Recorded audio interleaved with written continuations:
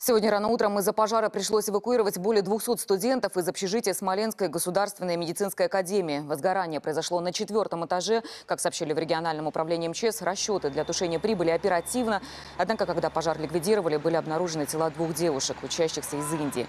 Сейчас в здании сохраняется задымление. Рассматриваются разные версии причин ЧП от неосторожного обращения с огнем до замыкания проводки.